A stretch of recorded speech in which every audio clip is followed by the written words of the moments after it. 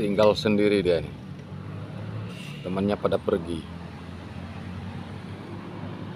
Tapi besar sekali monyet ini ya.